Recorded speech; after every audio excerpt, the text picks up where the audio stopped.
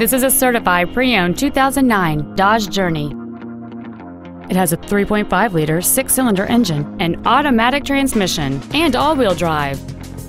Its top features include a power sunroof, heated front seats, cruise control, a DVD video player, leather seats, performance tires, alloy wheels, an anti-lock braking system, a rear window defroster, and this vehicle has fewer than 30,000 miles on the odometer.